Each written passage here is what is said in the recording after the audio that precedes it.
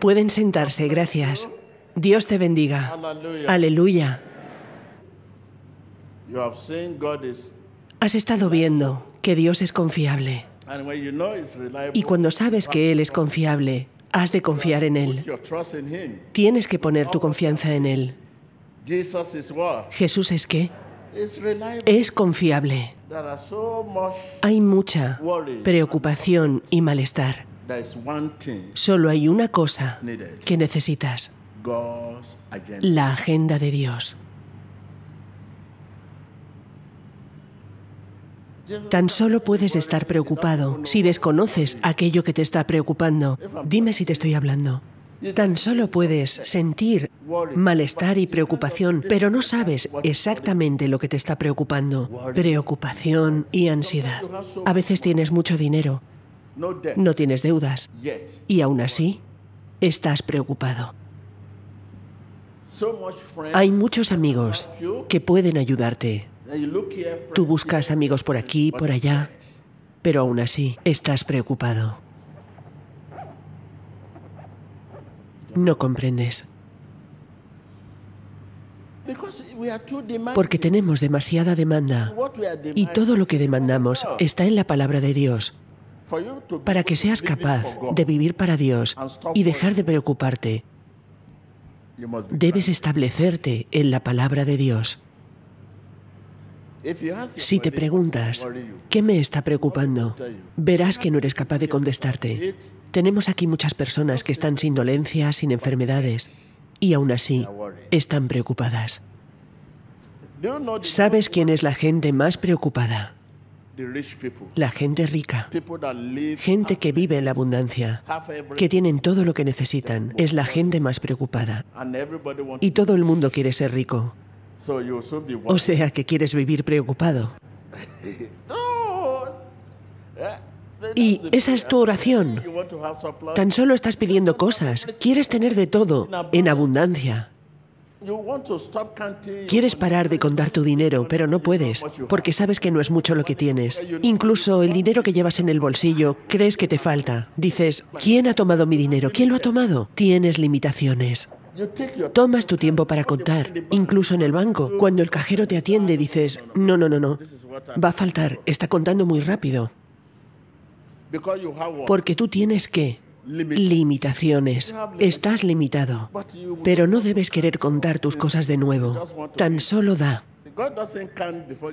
¿Acaso cuenta Dios antes de darte? Cuando te bendice, empieza a contar. Uno, dos, tres. Toma esto.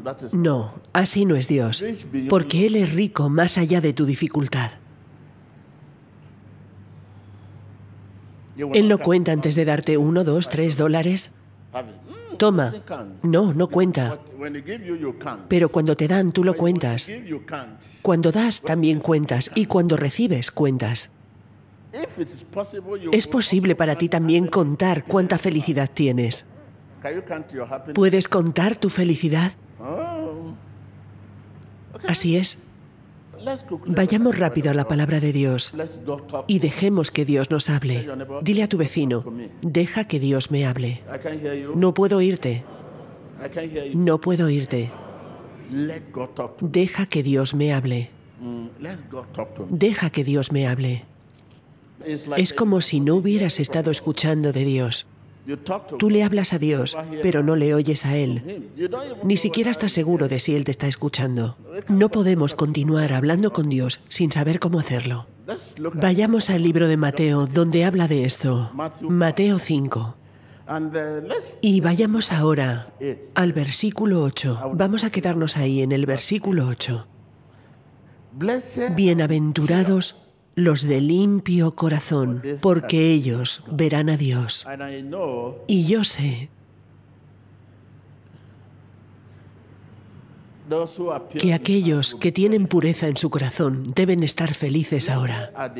Bienaventurados los de limpio corazón, porque ellos verán a Dios. Cuando estás viendo en Manuel TV todo el tiempo, deberías saber que la cosa más importante que Dios mira es el corazón. No es que Dios no valore otras cosas, faculties, otras facultades. Él lo ama todo. Pero lo más importante, la cosa más importante que Dios mira es el corazón. Esto significa que el auténtico cristianismo habita en el corazón. El verdadero cristianismo habita en el corazón. Tú oras en la mañana, oras. Eso es normal, en una vida cristiana. Pero no sabes que la oración es una conversación de doble dirección.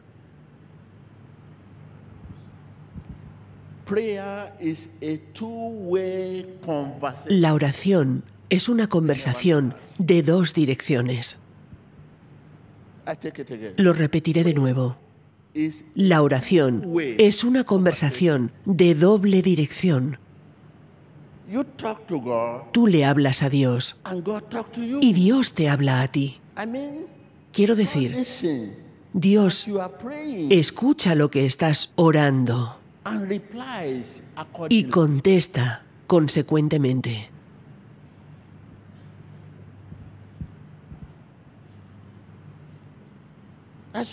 Tú empiezas en el nombre de Jesús, en el nombre de Jesús, en el nombre de Jesús.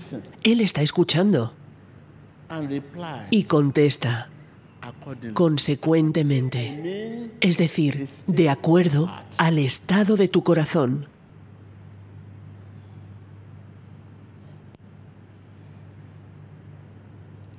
In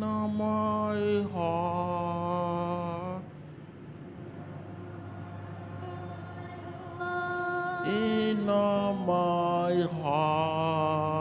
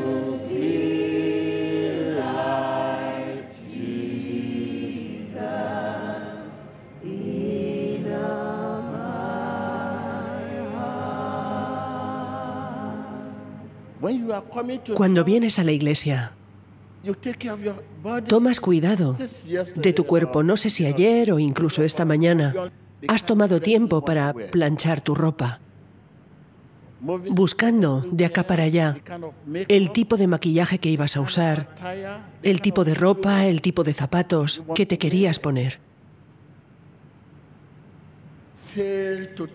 Pero fallas en poner cuidado en lo más importante. Que Dios requiere.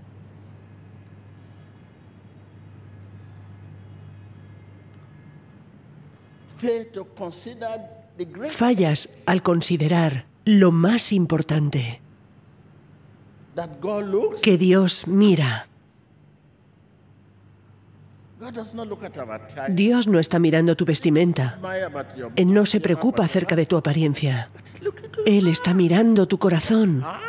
Porque tu corazón es el punto de contacto, el punto de comunicación, el punto de comunicación entre lo visible y lo invisible, entre lo inmaterial y el mundo material.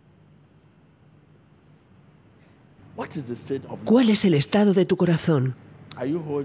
¿Estás guardando resentimiento? ¿Estás reteniendo una ofensa?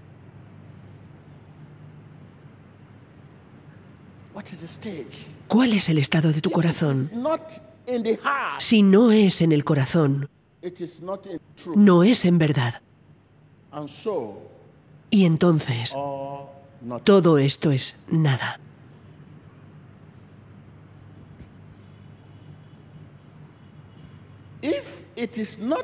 Si no es en el corazón, no es en verdad. Y entonces, todo esto es nada. Si tú me hablas a mí, buenos días, Señor, y no viene de tu corazón, te has burlado de mí.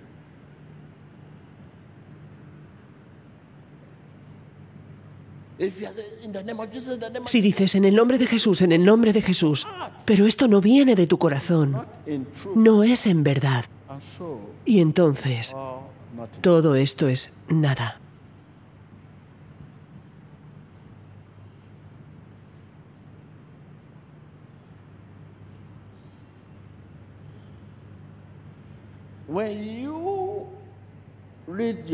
Cuando lees tu Biblia, la palabra de Dios, sin ofensa, entonces estás hablándole a Dios.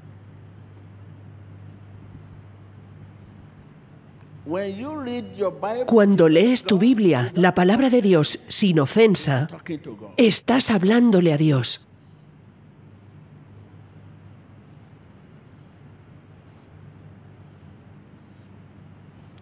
Prayer. La oración y la lectura de la Biblia deben ir de la mano.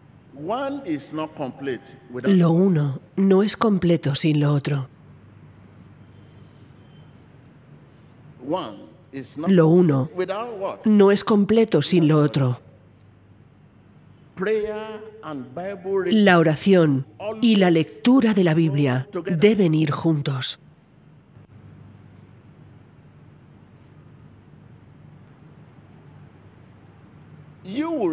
Tú recibirás en un momento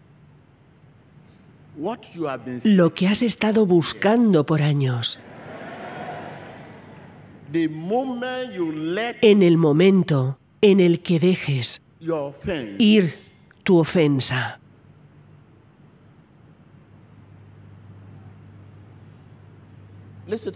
Escúchame bien. Tú recibirás lo que has estado buscando por años en el momento en el que dejes ir tu ofensa. Dile a tu vecino,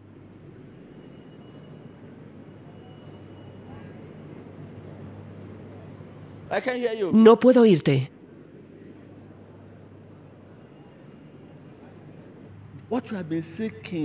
Lo que has estado buscando por años, lo recibirás en un momento.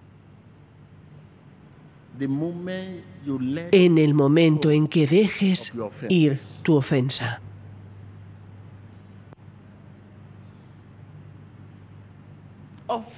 La ofensa es el muro entre nosotros y Dios.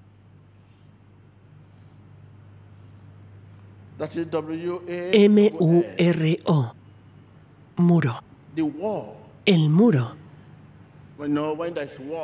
Cuando ves un muro, alguien está allí y alguien está aquí. Cuando quieres hablar a la persona que está del otro lado no puede oírte. Hay un muro entre nosotros y Dios que ha causado la ofensa. Deja que Dios te hable. Dios no ha estado hablándote, no te engañes a ti mismo. Por eso te sientes frustrado y has estado buscando la ayuda de personas terrenales. Personas terrenales.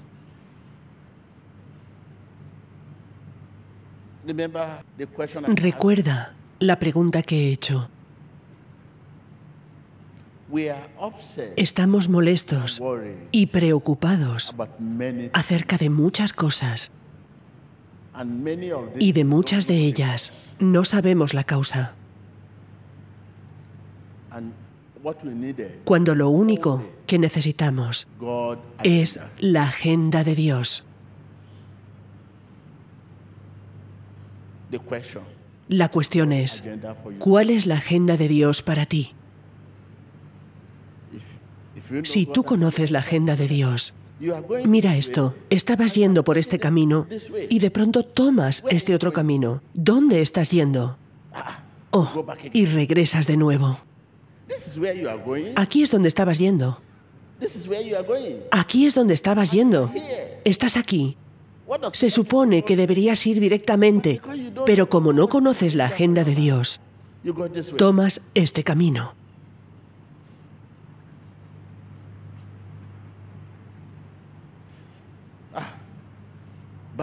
Y regresas de nuevo.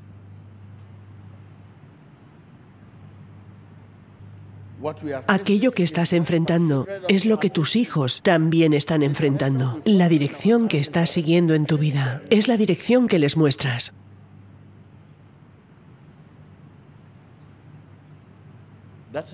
Es por eso que hay tantas maldiciones generacionales, cosas en la familia que se van repitiendo en la vida de las generaciones, de los hijos, de los hijos de los hijos.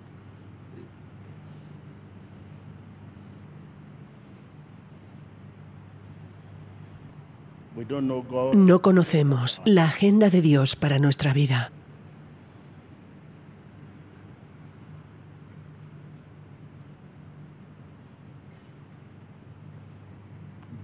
Bienaventurados los de corazón limpio, porque ellos verán a Dios. Quédate con este resumen.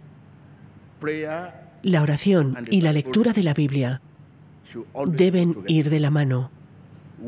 Lo uno no es completo sin lo otro. Cuando lees tu Biblia, sin ofensa, estás hablándole a Dios. Quiero decir, Dios está escuchándote cuando oras y responde consecuentemente.